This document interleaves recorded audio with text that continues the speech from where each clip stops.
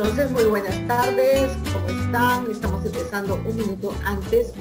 Eh, yo soy Gloria Cosío, los saludo desde Lima, Perú. Acá son exactamente las 4 de la tarde. El día de hoy, en una taza, con, una taza de café con Aurelio Mejía, vamos a tratar un tema bastante interesante, como todo lo que venimos tratando durante las cada dos semanas que nos tenemos nuestra reunión y es, ahí está la taza de café, yo me olvidé la taza de café. y bueno, y todas las tazas de café que tiene el maestro atrás, ¿no? Porque cada país que va, él se va llevando su tacita de, recuerdo. El, día de hoy es el ultrasentido, ¿verdad, maestro? Sí, hoy... Ultrasensorial. Ajá, ahí está la tacita de café. El mundo del ultrasensorial ultras, el mundo ultrasensorial, ¿no? Eh, vamos a contar con dos invitados más, además de Jader y de Aurelio, va a venir también este Ramiro Montaño de Alemania y eh, dijo quedó en venir eh, no, perdón, este Doménico. Así que bueno, todavía estarán demorando. Pero antes de que se presenten y haciendo un tiempo para que lleguen los demás, ya voy soltando una pregunta, maestro maestros. Nosotras las mujeres, creo que los seres humanos en general tenemos un sexto sentido, ¿cierto? Nosotras las mujeres, y creo que madres, tendríamos un sentido más que es el séptimo sentido. Pudiéramos estar, significa que ya estamos dentro de lo ultrasensorial, porque tú ya sabes, Aurelio, de que nosotros como madre este, tenemos una sensación, algo pasó y realmente pasó, ¿no? Eso, eso está dentro de lo que vamos a tratar hoy día. Esta pregunta queda para luego, ¿ok? Entonces, Jader Núñez, él es psicólogo. Sigue Jader con el resto de tu currículum. bueno, soy psicólogo, psicoterapeuta o hipnoterapeuta, experto en el modelo de hipnosis introspectivo y en el tratamiento de dificultades emocionales, psicosomáticas, energéticas, espirituales y bueno, pues aquí con ganas de aportarle desde mi conocimiento y también desde este importante tema que sé que va a ser de, que es de mucho interés para muchas personas. ¿Y qué me dice de referente a lo que yo digo? Las mujeres ya estamos dentro de ese grupo de del ultra, ultra ¿cómo es? Esa palabra se me va. Ultrasensorial. Ultrasensorial. Se lo va a poner al revés para que usted lo lea al derecho. No, sí, ahorita, ahorita lo noto acá.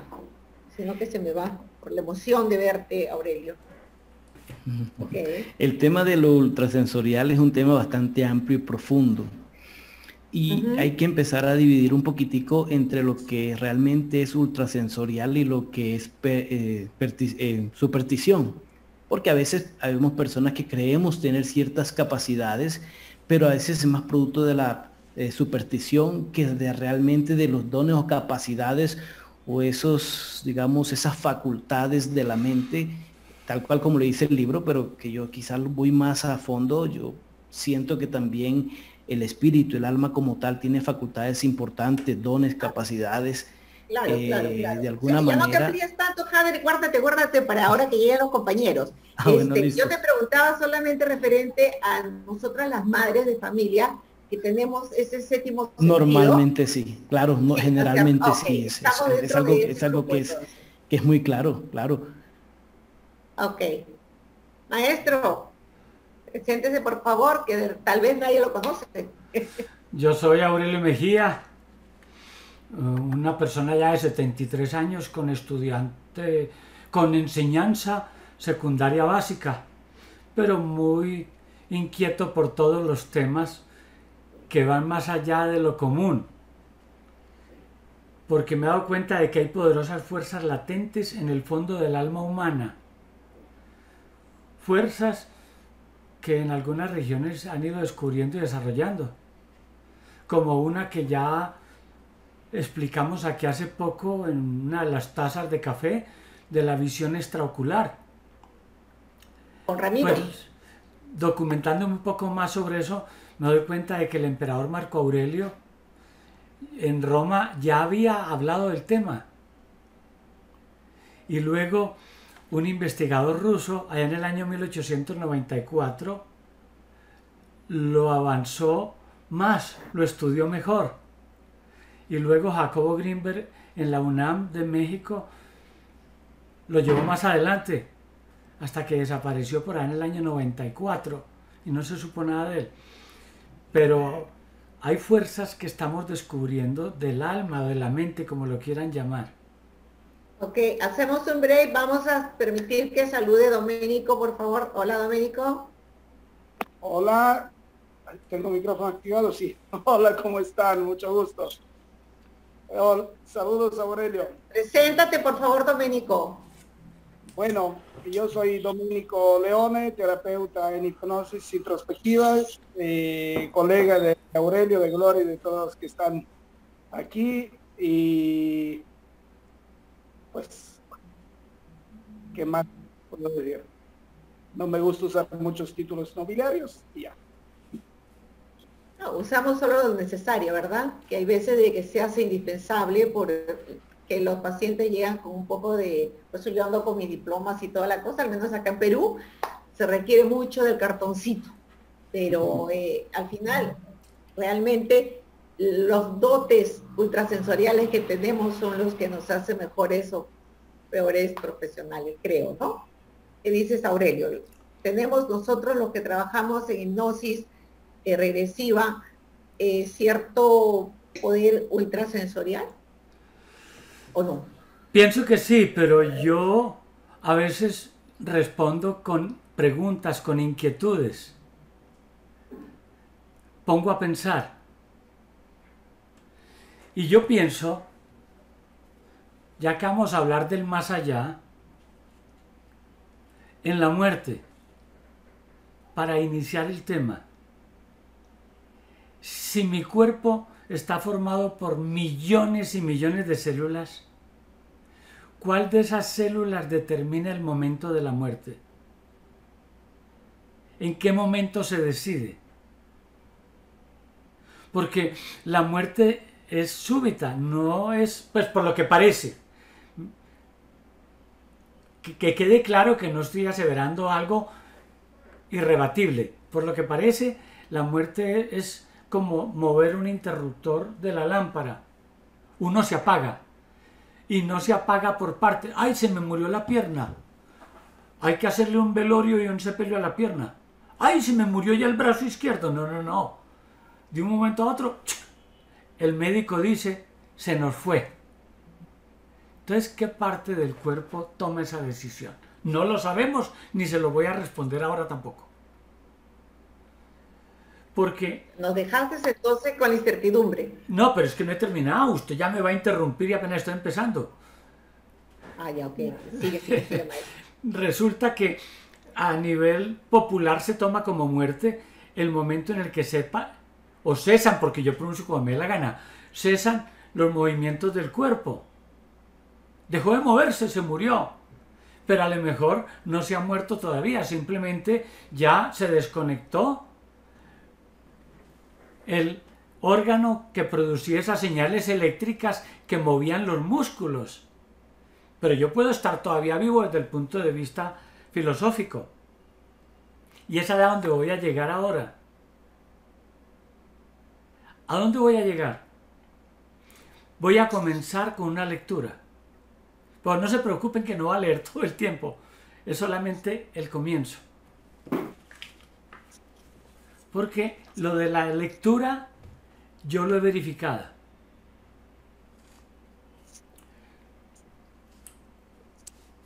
Comienzo. Según las actas, el teniente piloto inglés David McConnell se mató con su aparato el 7 de diciembre de 1918. Hora del accidente, las 15.25, o sea, en el lenguaje PM a las 3 y 25 de la tarde. A la misma hora, entre las 15.20 y las 15.30, su compañero de vuelo, el teniente Larkin, tuvo una extraña aparición. He aquí lo declarado por Larkin bajo juramento. Lo que voy a relatar es extraordinario, pero ocurrió de forma tan natural que por el momento no pensé más sobre ello. He oído hablar y he leído sobre tales sucesos, pero he de decir que nunca hice caso de ellos. Siempre he sido un escéptico, pronto a reírme de tales cosas. McConnell, el, el fallecido, se había despedido del teniente Larkin antes de emprender el vuelo. Y Larkin prosigue diciendo, yo estaba despierto, leyendo y fumando. Estaba sentado delante de la chimenea a unos tres metros de la puerta de la habitación. Entonces oí que alguien venía por el pasillo y la puerta se abrió acto seguido con violencia, como acostumbraba a hacer Daniel. Le oí decir, Hola muchacho, y al volverme le vi en el marco de la puerta con la ropa de vuelo, sujetando el pestillo de la puerta con la mano. No había nada de extraño en ello. Llevaba la gorra echada hacia atrás y sonreía como siempre que entraba en la habitación. Hola. ¿Ya de vuelta? Le pregunté. Y él me respondió. Sí, he llegado estupendamente. He tenido un buen vuelo. Le estuve viendo durante todo el tiempo que permaneció hablando. Ya voy a terminar, no me preocupen. Después dijo, Hasta luego. Cerró la puerta y desapareció. Smith se presentó en la habitación poco después. Serían las cuatro menos cuarto cuando dijo, Espero que Mac llegue con tiempo suficiente, pues esta noche queremos ir a Lincoln. ¿Ya ha regresado? Dije yo, estuvo en esta habitación hace unos momentos. El teniente Larkin se enteró pocos horas más tarde de la muerte de su camarada. No quería creerlo, seguía teniendo la convicción de haberlo visto y escuchado su voz. El artículo sigue, pero es suficiente para dar inicio al tema. ¿Por qué inicio al tema? Eso es algo que se suele dar en varias personas, he escuchado que... Es que usted, usted, vuelve y me interrumpe, yo no he terminado. Yo estoy poniendo el suspenso. Ah, pues si ya te pusiste así es Sí, pero es para poner suspenso. Para poner suspenso. El mensaje no le... El mensaje no verbal dice ya... No, no, no, no, Es que es para que haya suspenso. Pues ah, resulta... resulta que nosotros teníamos en nuestra empresa un empleado de nombre Jaime. Buen hombre. Y un día Jaime murió. Ya no estaba trabajando con nosotros. Ya se había pensionado. Pero yo me enteré de la muerte de Jaime. Al poco tiempo, me dice mi hijo, que es cirujano en el hospital, ¿sabes quién estuvo esta semana saludándome en el hospital.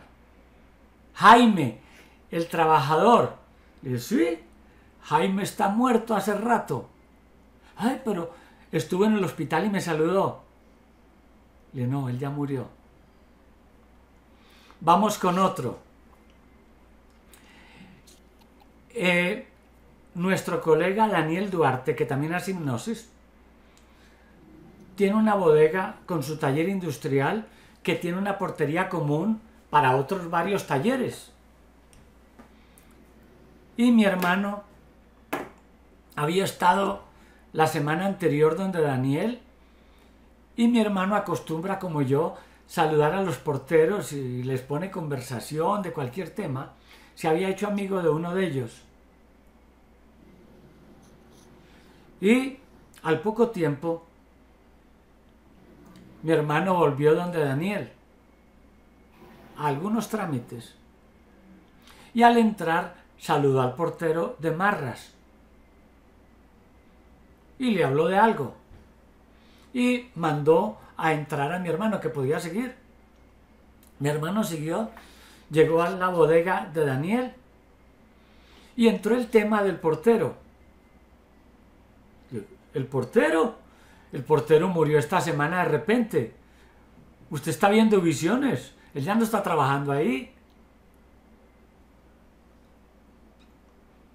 Dos casos. Otro, que ya se no me tocó a mí. Le tocó a alguien que estudió en Roma, sacerdote, psicólogo, terapista en hipnosis.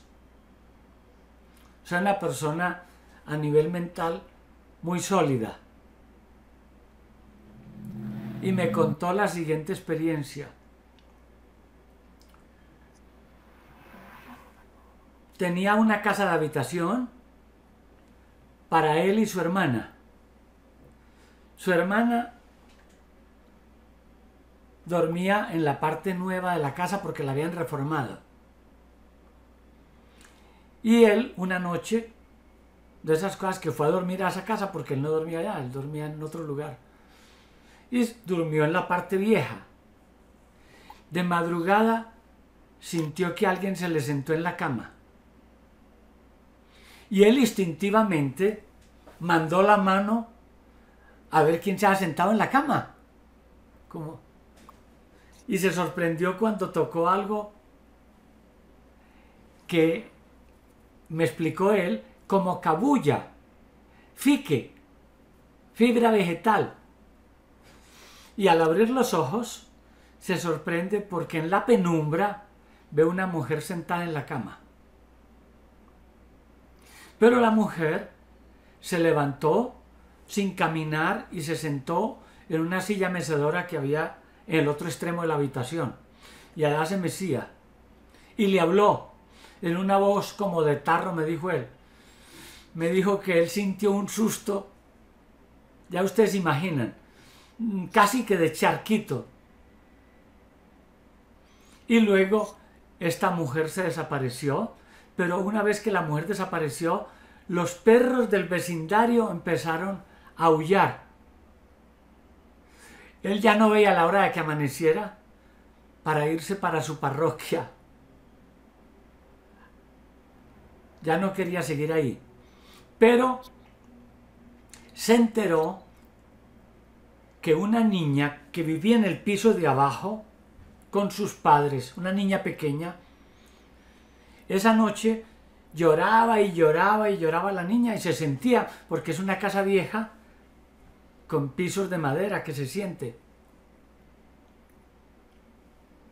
Y un día los padres de esa niña se acercaron donde este psicólogo terapista en hipnosis y le comentaron el caso de la niña, que esa niña lloraba casi todas las noches de madrugada y él se acordó de la experiencia que le tocó vivir ahí con esa vivencia. Y le dijo, sin darle detalles a los padres de la niña, no les contó lo que él vivió ahí tan aterrador. Le dijo, vea, ¿sabe qué?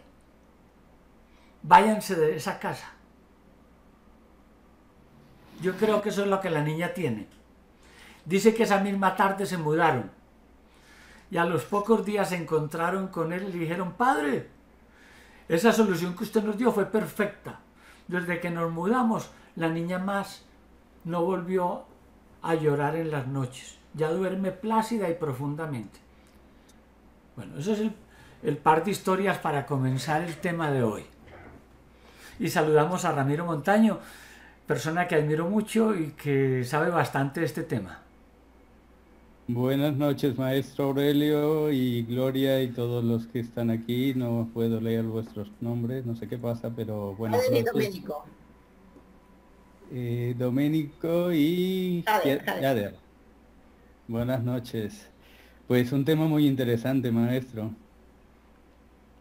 Ramiro, preséntate por favor y dile dónde estás, porque nos saluda dos noches y acá estamos en la tarde. Bueno, es que yo estoy aquí, son las 12 de la noche, entonces eh, nada, la cuestión de, horario, mi nombre es Ramiro Montaño, soy psicólogo criminólogo y nada, pues también trabajo con hipnosis aquí siguiendo muchísimo a vosotros y al maestro Aurelio y teniendo aprendizajes cada día con vosotros en, en este mundo de lo de la sensibilidad, ¿no?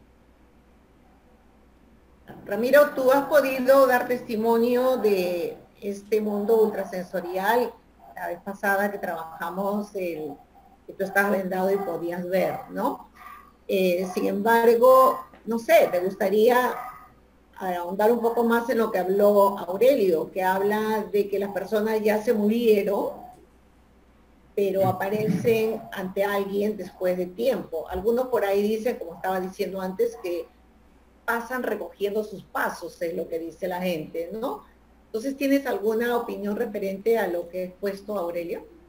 Bueno, pues como experiencias de pacientes te podría contar alguna y te puedo contar alguna personal vivida, ¿no? no eh, en, un, en un accidente, ¿no? Un accidente de avión donde el personaje en cuestión eh, se veía durmiendo en, la silla y, pensaba que estaba soñando, eh, se levanta de la silla, camina por el pasillo, pero se sigue viendo que está allí sentado y se dirige a la cabina del avión.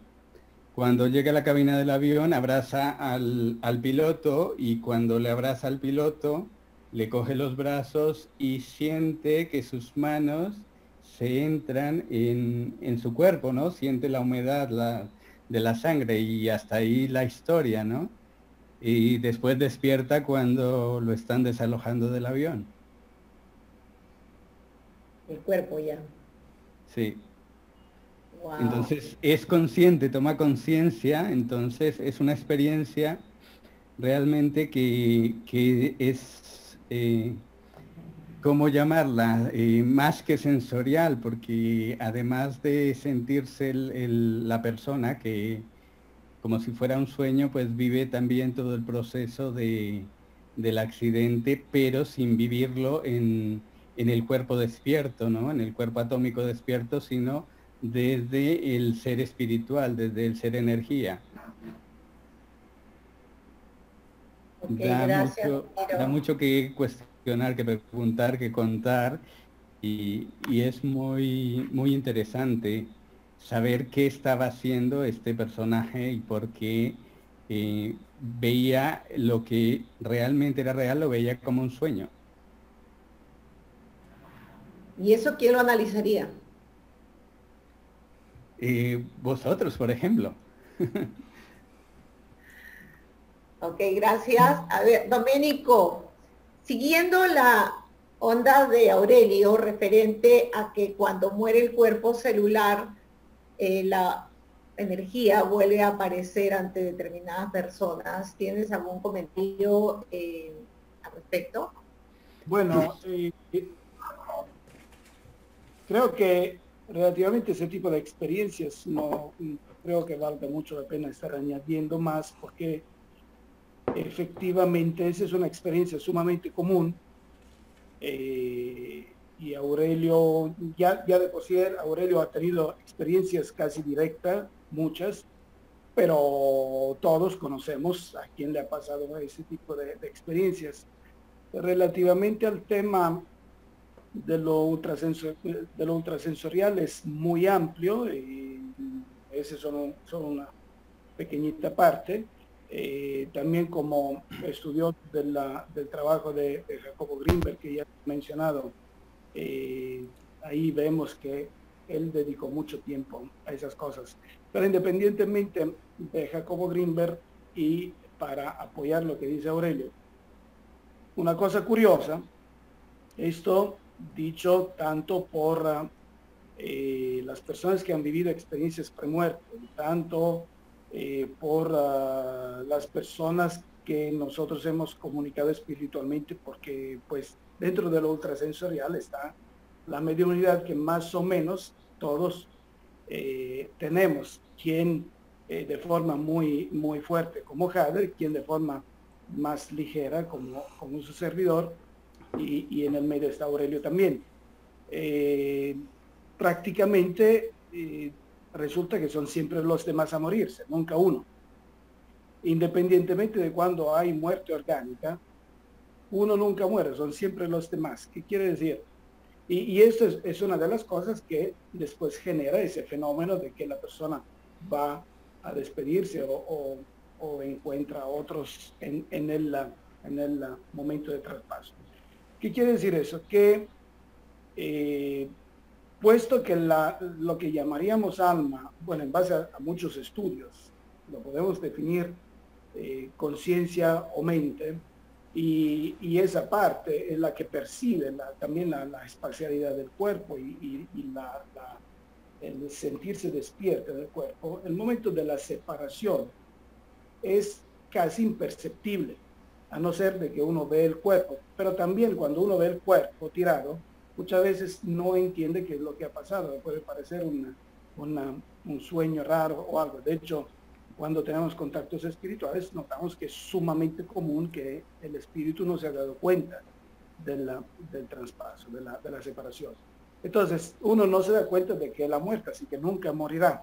Pero sí se da cuenta de que los demás se mueren porque ve que se apaga esa maquinita que, que llamamos cuerpo. Así que, puesto que uno no se muere, si siente alguna sensación, necesidad de contactar con una persona querida, en el momento de separarse del cuerpo no tiene límites para hacerlo, porque entra en el ambiente de la, de la, de la capacidad mental em, coherente de la, del mundo cuántico, si queremos llamar así. Entonces, en ese estado de alta coherencia es muy fácil que se manifieste eh, prácticamente casi como, si tuviera cuerpo frente a una persona que, que eh, aprecia. Entonces esto es lo que más o menos puedo decir en este tipo de, situaciones, pero repito, las situaciones ultrasensoriales son infinitas, hay, hay muchos casos. Bueno, entonces sigo con otro par de historias de las que fui testigo. pero falta Javier, Aurelio, pero falta Javier. Bueno, sí. Bueno, listo. Entonces, eh, muy interesante lo que ha dicho el maestro, lo que dice Ramiro y Doménico, fundamentando un poco más esta parte.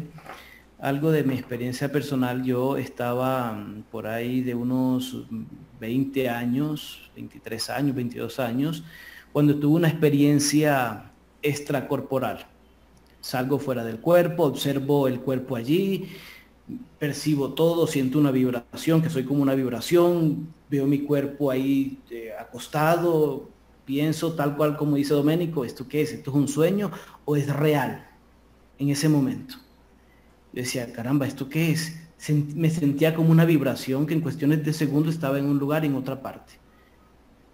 Recuerdo que fue algo súbito y abrí los ojos. Efectivamente estaba fuera del cuerpo empecé a buscar respuestas sobre todo esto.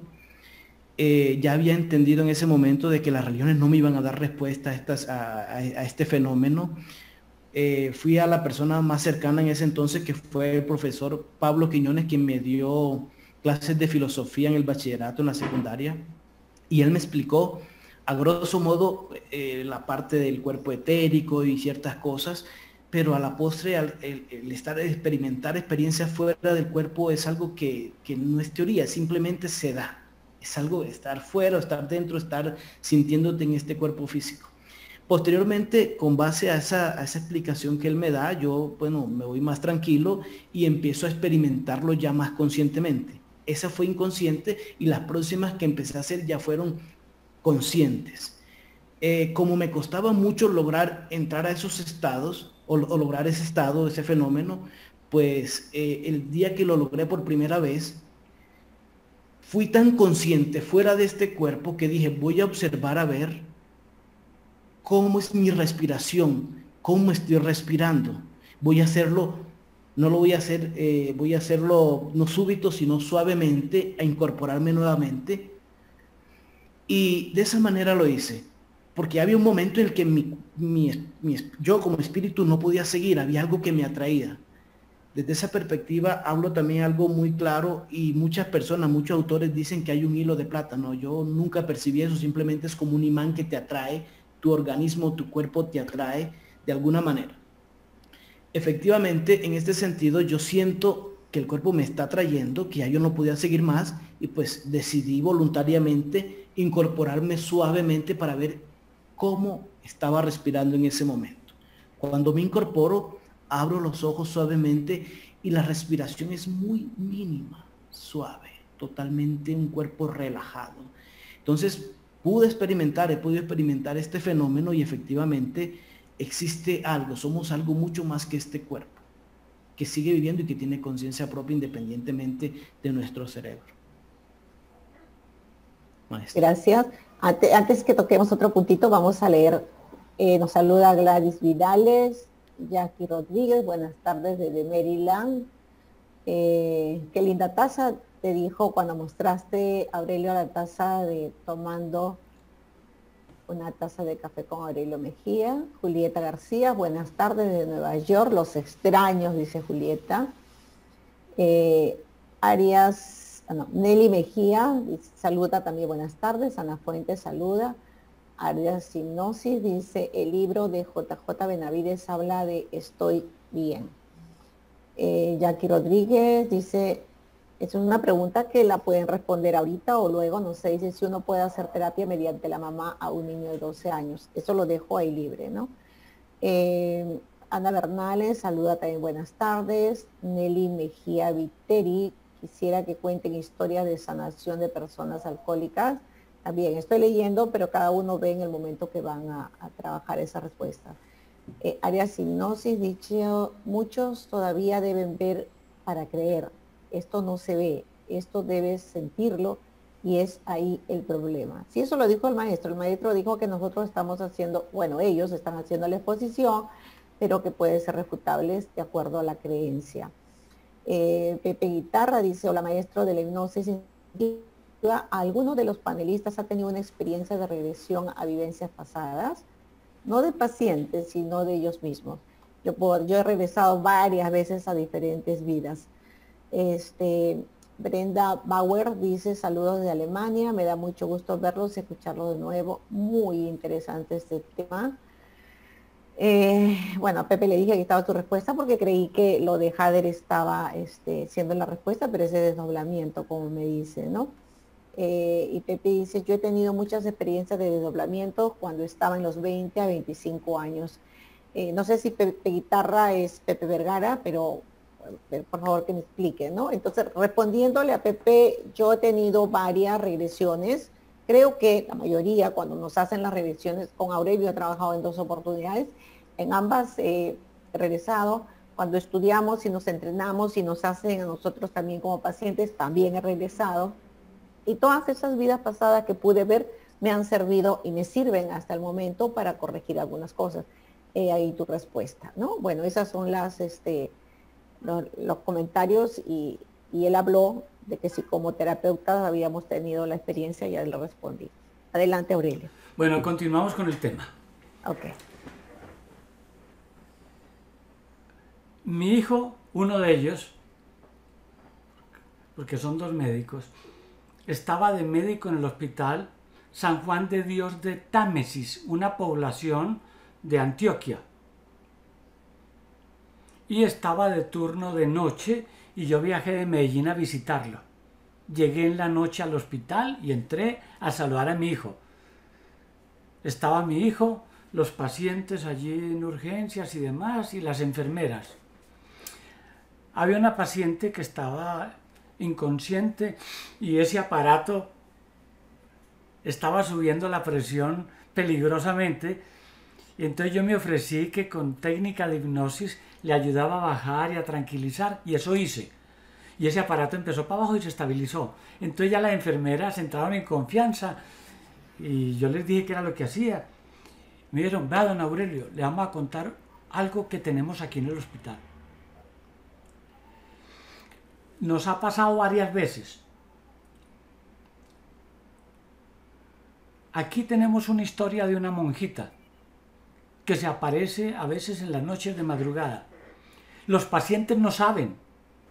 Y nos ha ocurrido que vamos en la mañana a hacer la ronda y nos dice, vea, enfermera, dígale a esa monjita que estuvo anoche aquí visitándome, que vuelve esta noche también. Me fue muy bien con esa monjita. Denle saludes. Y las enfermeras se guiñan el ojo porque es una historia ya conocida en el Hospital San Juan de Dios de Támesis.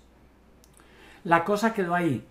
Pero hace poco conocí a este sacerdote, psicólogo, terapista en hipnosis. Me dijo, Aurelio, vea, le voy a complementar la historia. Yo fui capellán del hospital, más o menos en la época en que estaba su hijo trabajando allá, o sea, hace más de 15 años. Y le voy a contar una historia de la que fui testigo, con la monjita. Tuvimos un parto difícil. Y al, al bebé lo apartamos a la habitación de bebés de cuidados especiales. Y la parturienta siguió su proceso ahí en el quirófano. Por la mañana fue la enfermera a decirle a la, a la que había tenido el parto, doña fulana, dentro de un momento le traemos a su bebé para que lo conozca. ¿Conozca? Anoche me lo trajo una monjita y ya me lo mostró. Me lo trajo hasta aquí la monjita anoche. Y la enfermera y el padre. Miren, cosas físicas. Interesante. Listo, sigamos con el tema. Claro, algo físico también es lo que hace Ramiro a la hora que lee la, lo que no ve, ¿no? Ramiro. es, algo, bueno, es algo físico y, y, sobre todo es algo de coordinación de sentidos, ¿no? Para aprender esto o para desarrollar esto eh, se trabaja la sinestesia. Y como vosotros sabéis, pues es un proceso donde tú vas coordinando los órganos de los sentidos. Por ejemplo, poder ver la música. Si tú aprendes a ver la música, pues ya te queda mucho más fácil comenzar a ver entrar en el mundo em, en las experiencias ultrasensoriales, ¿no? Si aprendes a ver la música o si aprendes a escuchar un olor o si aprendes a mm, saborear un color todo esto se puede desarrollar, se puede desarrollar a partir de eh, hacer un encuadre con todos los sentidos y hacer que nuestros sentidos funcionen a la par, o sea, funcionen por pares, funcionen eh, gusto oído o gusto eh, vista o gusto nariz o viceversa, ¿no?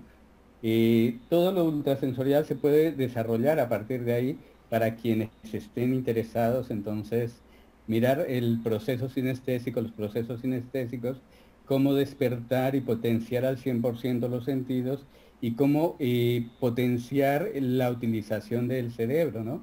Se supone que usamos una, un 10-12%, pues imagínate que Einstein usaba el 12% según, según lo, que, lo que hay en la historia, ¿no? Sobre el 12% usaba él. Entonces, si desarrollamos nuestros sentidos, podemos comenzar a entrar en los mundos invisibles, ¿no? Podemos comenzar a entrar a ver al ser energía que vive en nosotros, en cada uno de nosotros. Entonces lo podemos percibir, no necesariamente con los ojos físicos, sino que, como en mi caso, podemos salir fuera, ver en, en otra dimensión, en una dimensión invisible donde está la materia invisible, por supuesto a partir de la sinestesia que todos los interesados pues comienzan a, investigar, a leer y a practicar. Y ahí comenzarán a ver, claro, no asustaros porque a veces comienzas a ver cosas que luego tú dices, yo por qué me metí en esto, ¿no? ¿Algún comentario, Domenico? Gracias, Ramiro. Bueno, el tipo de que sugiere Ramiro, no las conozco personalmente, conozco de forma indirecta otras que llevan de alguna forma a así amplificar, como dice Ramiro también y como menciona Aurelio muchas veces, algunos sentidos que podemos considerar diferentes, como es la visión con ojos cerrados o como son ese tipo de, situaciones que finalmente llegan más o menos al mismo punto. Eh, eh, y donde realmente nos damos cuenta, eh, esto ya lo, vemos estudiando un poco más profundamente también el espiritismo, por ejemplo, que en realidad no son ni los, los oídos eh, físicos o la nariz física las que huelen y que sienten, que escuchan, eh, sino es otra, otra facultad del ser, ¿no? Y, y, cuando, tanto con los ejercicios que menciona Ramiro como con otros ejercicios, logramos alcanzar esos niveles de, de, unión con lo que nos circunda, pues sí, efectivamente empezamos a ver cosas que al principio podemos, podemos no comprender, pero cuando aprendemos a comprenderlas, también aprendemos a, manipularlas, a modificarlas. En este sentido, luego es cómo se generan las aportaciones o los efectos físicos que acaba de mencionar Aurelio en el caso del bebé con la mosquita. Eh, son ese tipo de niveles. Eh, Domenico, eh, Pepe dice de que tú nos puedes explicar lo que sucede realmente en los casos de recoger los pasos, por ejemplo, cuando yo mencioné de que dicen de que uno luego de que el cuerpo murió, regresas a otro país, inclusive a donde sea, a recoger tus pasos. Entonces Pepe dice que tú sabes eso y que por favor que tú lo, que lo expliques. Deshacer los pasos.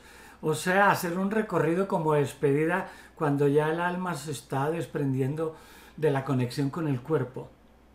Yo creo que eso es subjetivo, ¿no? Eh, la, idea de llamarlo rehacer los pasos es la primera vez que lo escucho, pero creo que son más cuestión de, creencias eh, de nosotros. Yo creo que subjetivamente, subjetivamente, cada uno en en la forma en que llega el momento de la desencarnación, o sea, de la separación del cuerpo, de la forma de conciencia que, y, de liberación de la, de la materialidad que llega al momento de la separación del cuerpo, puede ser capaz de, de hacer esto de formas diferentes.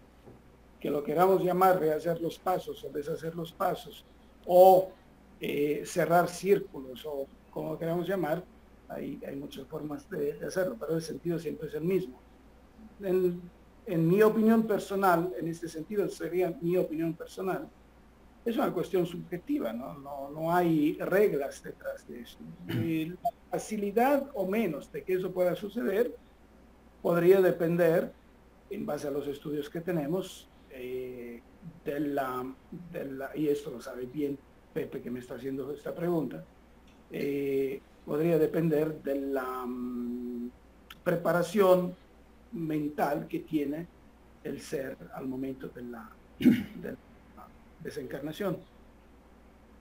Porque más o menos muchos tenemos un momento de, de, de, ¿cómo llamarlo? De aturdimiento en ese momento de, separación, la mayoría de nosotros. Ese aturdimiento también puede durar mucho tiempo. Hay ideas de que puede durar algunos días, pero también nosotros encontramos que ese aturdimiento lo, lo podemos definir en tiempos más largos, esa inconsciencia que tiene el espíritu cuando nosotros lo encontramos ahí, que no sabe cómo se llama y que no sabe que, que ha muerto, eso es una forma de aturdimiento, eh, post-mortem, entre, entre comillas. Entonces, en la medida que la, el ser, la persona, está desencarnando está libre de esto y tiene una cierta conciencia de lo que está pasando, tiene más facilidad en ah, dar esos regalos a, las personas que aman. No, no deshacer pasos, sino donar algo bonito, porque eh, realmente el, ser querido que recibe esa visita eh, sí se queda maravillado pero es algo que luego te queda por toda la vida, como algo hermoso que, te sucedió, ¿no? No es algo que, que da miedo, es algo hermoso. Bien, gracias. Jader, tú hablaste algo referente a también los mitos o las creencias que existen, ¿no? Por decirte eh, que te avisa cuando pasa un gato negro frente a ti que te vas a morir. Eh, pues hablaste respecto a eso, quisieras un poquito profundizar que tiene que ver esto con lo ultrasensorial. Eh, básicamente no con, los, con, esas cosas, sino con el tema de la superstición que es distinto a las capacidades que sí son reales. Eh, hay personas que dicen sentir o tener ciertas facultades, pero a veces simplemente producto de la superstición. En muchos casos. Hay casos donde realmente se ha comprobado de que sí realmente hay personas que tienen ciertas facultades. Ya tenemos el caso de Ramiro, Doménico también sí tiene ciertas facultades y yo puedo decir de que las personas nacemos con ciertas facultades de acuerdo a nuestro propósito de vida. Alguien llegó a mi consulta alguna vez y me decía, Jader, yo quiero, yo quiero aprender a través de la hipnosis salir fuera del cuerpo, porque sé que tú lo has hecho. Y dije, pero eso no es que, que lo vamos a enseñar nosotros, se va a hacer así en hipnosis, porque así. Hay todo un recorrido para lograr adentrarnos a esas facultades y es mirar en nuestro interior. Sí, la hipnosis es una herramienta poderosa y yo lo digo porque pues obviamente mi trabajo terapéutico se centra mucho en el autoconocimiento, la autosanación y he podido ser testigo de muchos procesos donde la persona activa ciertas facultades, pero esto más que de la hipnosis depende de la misma persona, que esa persona tenga esa facultad o que por lo menos eh, en, sus, en su propósito de vida o en sus, sus facultades espirituales se encuentre. Porque cada persona viene con facultades distintas, ultrasensoriales o extrasensoriales, que puede desarrollar con facilidad. A algunas personas les cuesta más por el ruido que la misma mente consciente toma de la, de la parte física, del mundo físico. Y esto afecta muchísimo el entrarnos a nuestro interior, luego viene el miedo y este miedo empieza a bloquear estas facultades también. Entonces, muchas veces la persona muere y nunca supo que tuvo una facultad. Entonces, eh, muchas personas también hablan de, que tienen sueños premonitorios. Bien decía el maestro Helio en una de las presentaciones del curso introspectivo, y es que esas facultades se pueden establecer o medir en la medida en que se corrobore que realmente así fue, porque realmente no hay un método científico con el que digamos, listo, es que esto se puede corroborar porque hay cosas que obedecen a otra realidad, al mundo espiritual, a lo invisible, y, científicamente no se va a poder corroborar, no, hay, no hay herramientas de cómo medir todo esto, pero sí de cómo comprobar o cómo probar estas facultades. Eh, entonces, hay personas que muchas veces mm, tienen sueños y piensan que dicho sueño le quiere decir algo y, durante todo el día andan con un miedo porque va a pasar algo. Y entonces no tienen claro de que hay diferentes tipos de sueños. Hay un sueño que es un sueño liberador, que es para liberar las tensiones, las presiones psicológicas de todo el día que hemos vivido el día a día.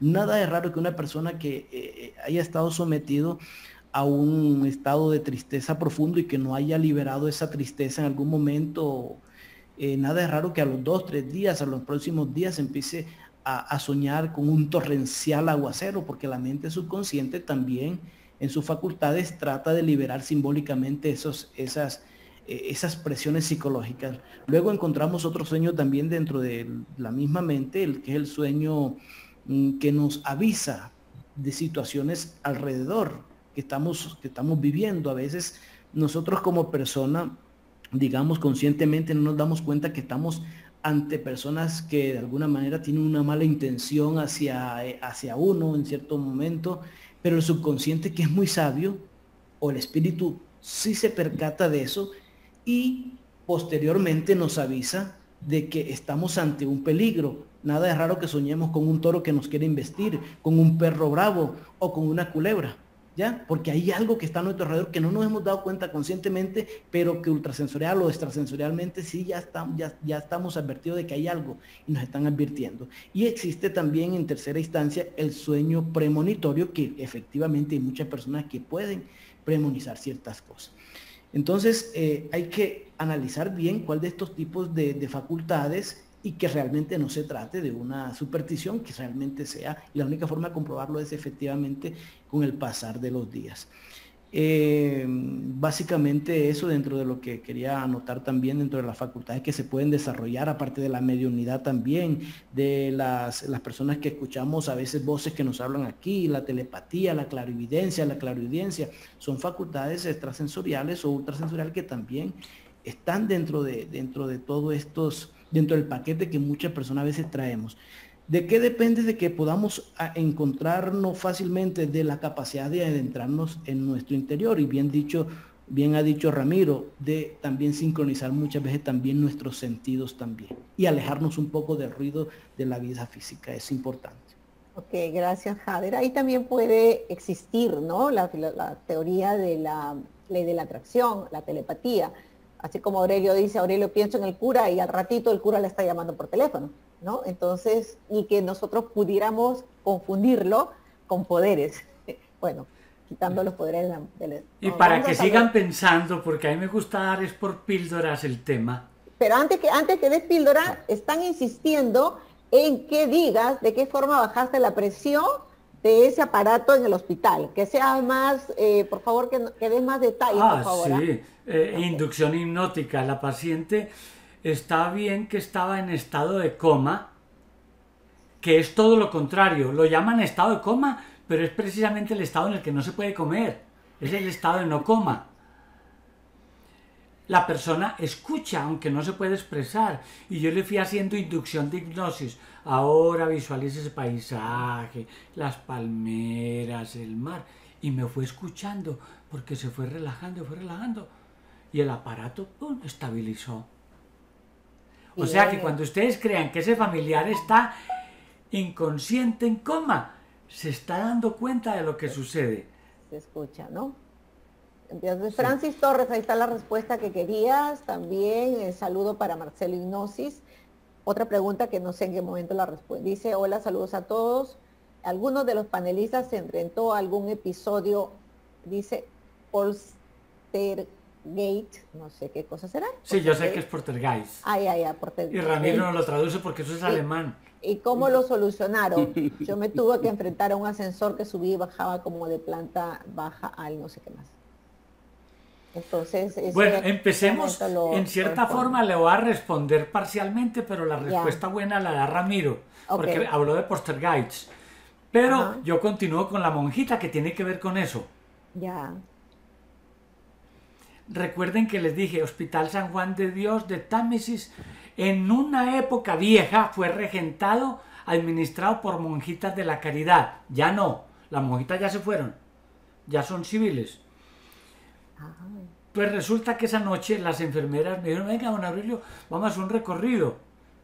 Oiga, y en ciertas partes del hospital, como es un edificio muy viejo que tiene más de 100 años, se siente cierto escalofrío, ciertas cosas. Y allá, llevaban los cadáveres, allá los niños, y aquí tal cosa en el quirófano. Bueno, me contaron historias. Pero ¿a dónde va el cuento? Resulta que en San José de Costa Rica también el hospital se llama San Juan de Dios, regentado por las mismas monjas de la caridad. O sea que en cierto momento monjas que estuvieron en San José también estuvieron en Támesis. O monjas de Támesis en San José, Costa Rica. ¿A dónde quiero llegar? Si lo que vivenciaron de la monjita realmente se trató de un espíritu o se trató de proyecciones holográficas psicoespirituales movidas por fuerzas latentes en el fondo del alma humana que como la historia se la habían comunicado las monjitas de San José o las monjitas de Támesis, y en el fondo es posible que a nivel no consciente estuvieran proyectando la misma monjita en San José, la misma monjita en Támesis, porque es muy curioso que coincida. Si ustedes buscan en internet encontrarán la monjita del vaso de agua en San José, una monjita que a los enfermos a veces en la noche, tarde la noche, madrugada, se aparecía la monjita con un vaso de agua para que el paciente se lo tomara y el paciente lo tomaba. Monjita, muchas gracias. Y al otro día le decía, ahí vino la monjita y me trajo agua anoche que usted no me quiso traer. Y la monjita sí me lo trajo. Y las enfermeras saben que la monjita no existe. Entonces, miren que no quiero que interpreten eso de como que se trata de un espíritu. Puede ser simplemente una proyección holográfica inconsciente, psicoespiritual, una formación producto de las fuerzas latentes en el fondo del alma humana ustedes saquen conclusiones. no todos los fenómenos son espíritus. No todos los crujidos de madera en un amanecer es la manifestación de un ser invisible, un espíritu, no, simplemente son crujidos debidos a las dilataciones propias por la humedad y la sequedad de la madera. Pero y esas historias que tú nos cuentas de tu reloj y todas esas cosas, entonces también pudiéramos decir que fue algo este, Perfectamente puede ser, puede ah, ser. Ah, okay, A ver, por favor, acláranos eso de postgate. Eh, ¿Cómo se pronuncia? Poltergeist. ¿Qué es eso? Bueno, pues eh, hablando de supersticiones y creencias, pues se presentan varios fenómenos. Primero que todo, si hablamos de supersticiones, pues eh, son cosas o situaciones que las personas creen como que lo del gato que decían ahí, pero lo del gato de Hader, porque hablamos del gato de Rodinger, vamos a otra historia. Entonces, eh, si tenemos creencias, eh, puede que nuestra mente haga que esas creencias, esas imaginaciones, lo que se llama a veces em, patológicas eh, se sucedan, ¿no? Yo puedo decir que estoy escuchando una voz de alguien y, ahí está de acuerdo a mis creencias o, a mi, o al grado de patología que existan en el sujeto, pero los gays es una manifestación de algo paranormal, de una situación que em, aparece en algún sitio que se manifiesta, ¿no? Conozco algún caso por aquí cerca de, en una iglesia donde aparece, hablando de monjitas, una monjita que todos los días a la madrugada está eh, con, la, mm, con la canasta de las limosnas, ¿no? Y camina por la, por la puerta de, la iglesia, ¿no? Y dicen que la han grabado y que tienen, pues, hay evidencias de, eh, de ese fenómeno, ¿no? Entonces son fenómenos que se pueden grabar como las voces, como apariciones de luces, apariciones de em, sombras o realmente de imágenes, ¿no? Eh, podríamos hablar eh, tipo holográfico, pero también eh, generalmente más de tipo auditivo, es donde hay más documentación sobre el tema. Entonces diríamos que esto, esta palabra alemana que dice postergay, vendrían a ser eventos ultrasensoriales, pero que pueden ser captados físicamente, entre comillas físicamente. ¿Es así? Sí, pueden ser captados por, por, cámaras de, grabación, por cámaras de sonido, por eh, además de eh, que sean captados por eh, los sentidos del, sujeto, ¿no?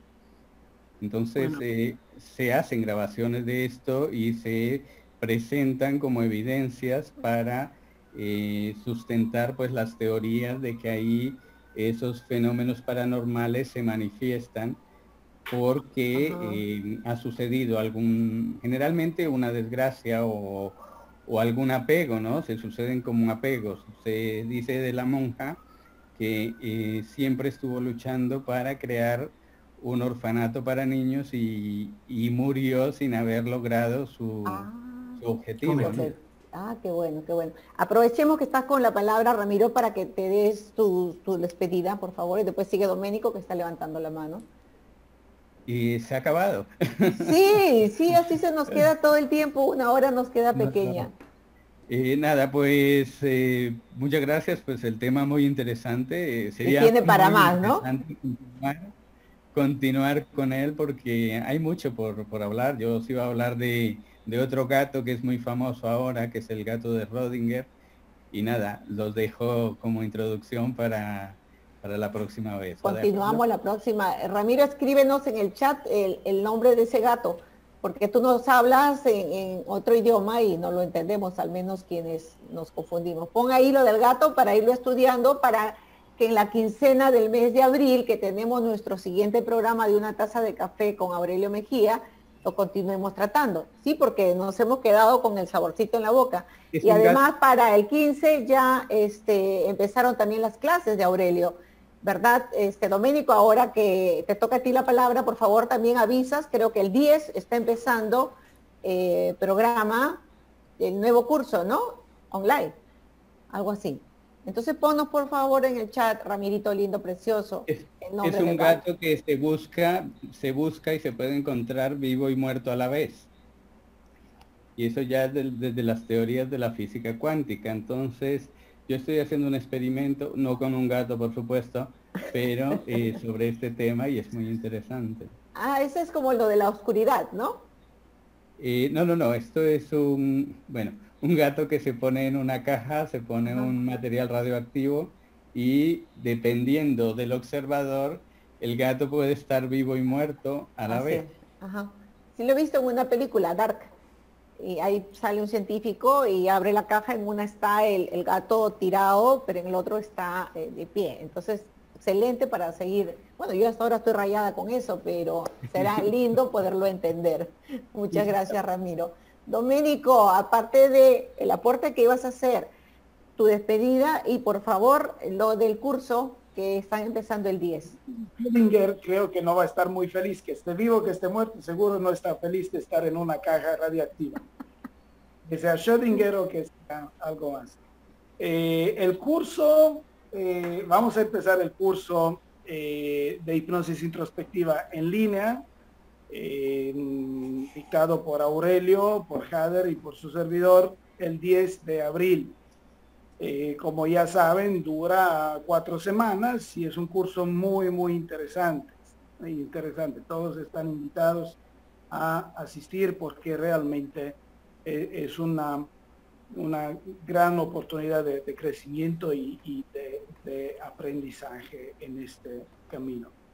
Relativamente al tema de la poltergeist, quiero decir que, bueno, poltergeist es el nombre eh, genérico que se le da a los fenómenos físicos, espirituales, físicos, de alta intensidad, no la aparición de la monjita, sino fenómenos de alta intensidad física. Es decir, que te lanzan los platos y no puedes pasar si no te están lanzando los platos.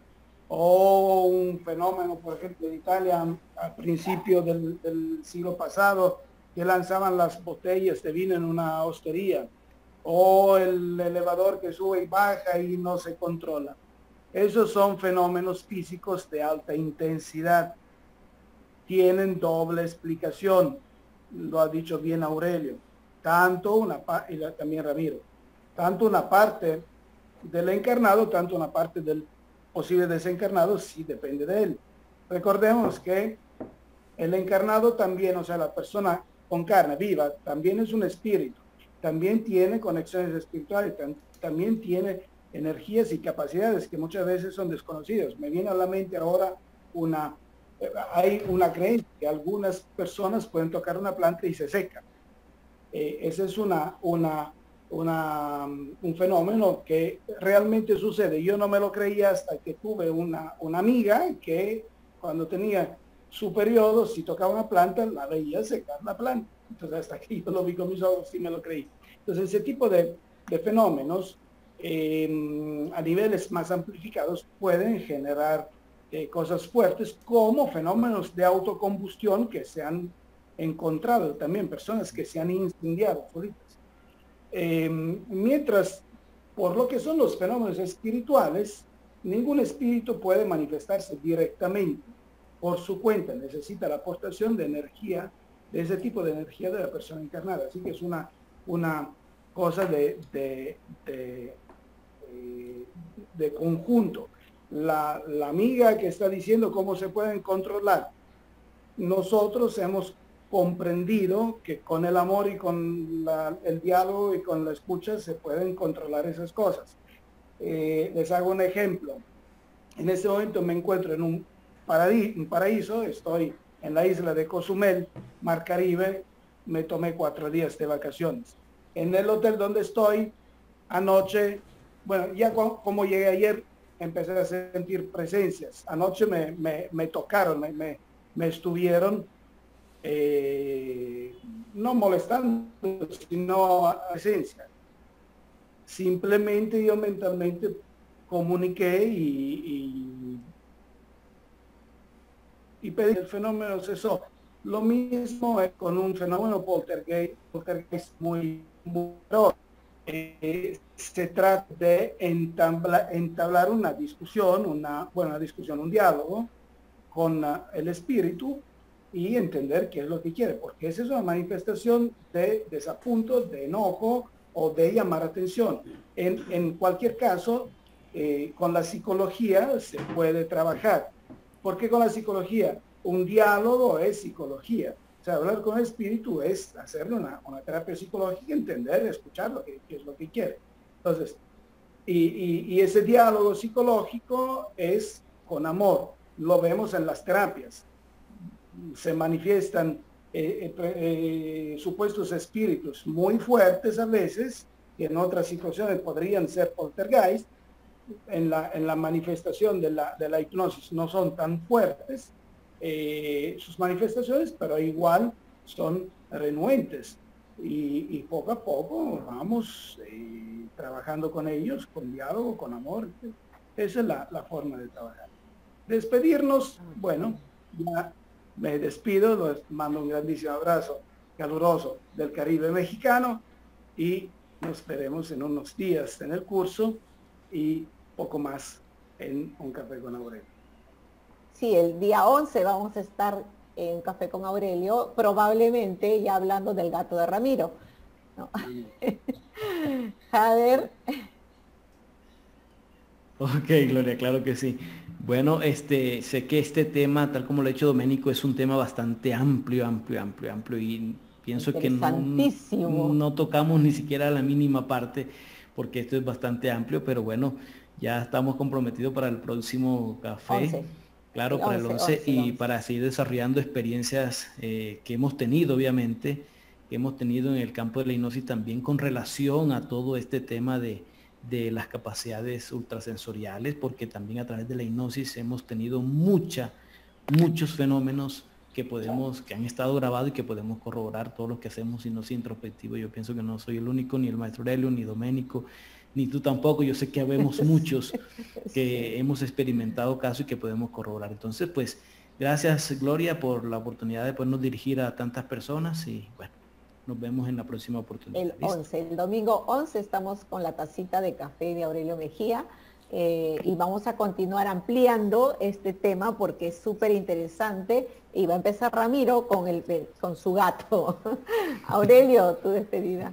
Listo, yo también me despido y acepto con mucho cariño el, ofrecimiento que ha hecho Ramiro de continuar con el tema porque es una persona muy capaz, que estudia mucho. Entonces nos veremos en la próxima tacita de café. Maestro, me han dicho que no te deje ir esta noche sin un piropo mandado.